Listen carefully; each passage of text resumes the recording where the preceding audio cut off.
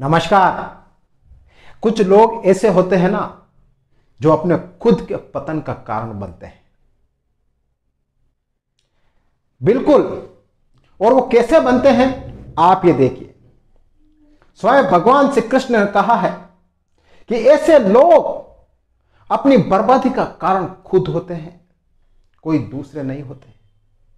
कोई दूसरे उनको बर्बाद नहीं करता है। वो अपने आप को ही खुद बर्बाद कर लेते हैं। और कैसे? ऐसे। भगवान श्री कृष्ण कहते हैं कि जो व्यक्ति बिना मेहनत के उम्मीद रखता हो, वो इंसान जीवन में हमेशा अपने पतन का कारण बनेगा। भगवान श्री कृष्ण कहते हैं कि आप इस दुनिया में आए हो तो बिना मेहनत के कुछ भी पाना आप क्यों सोचते हो? वो कहते हैं कि आपका इस दुनिया में आना और आपका कर्म करना आपका कर्म प्रधान है।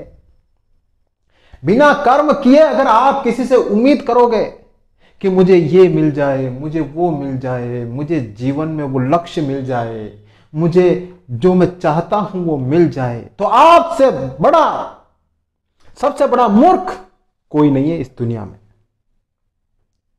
उम्मीद, भगवान श्री कृष्ण तो यह भी कहते हैं कि तू कर्म करते जा, उम्मीद मत कर। कर्म जितना करता रहेगा ना, उतना ही ज़्यादा तुमको फल मिलता रहेगा। लेकिन आज के टाइम में लोग क्या करते हैं? शॉर्टकट अपनाते हैं। जाना ऐसे है और ऐसे डायरेक्ट जाना चाहते हैं।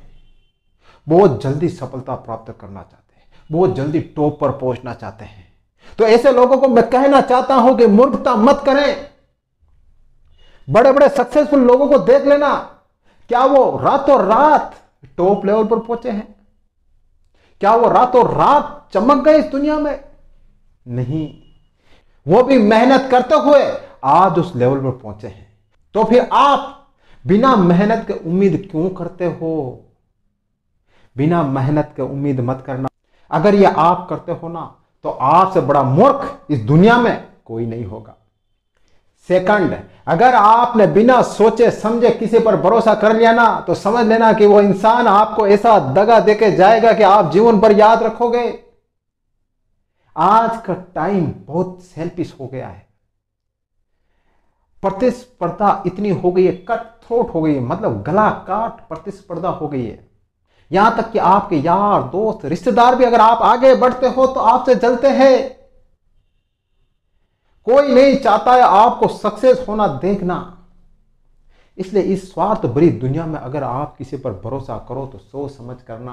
भगवान श्री कृष्ण कहते हैं कि बिना सोचे समझे किसी पर भरोसा मत कर देना, वरना वो इंसान आपका पतन कर देगा और वो आपको ऐसा धोखा देके जाएगा, आप जीवन में कभी उठ नहीं पाओगे। इसलिए बिना सोचे समझे किसी पर भरोसा मत करना।